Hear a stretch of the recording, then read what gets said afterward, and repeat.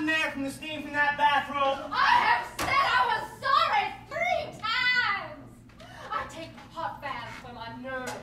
Hydrotherapy, they call it. Oh, you healthy Polack without a nerve in your body. Of course you don't know what anxiety feels like. I am not a Polack!